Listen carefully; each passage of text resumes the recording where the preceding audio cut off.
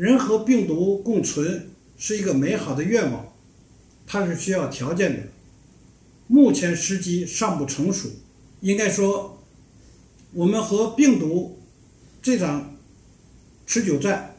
目前正处在相持的阶段。我们还是需要外防输入、内防扩散，还要是坚持我们一些行之有效的方法和措施，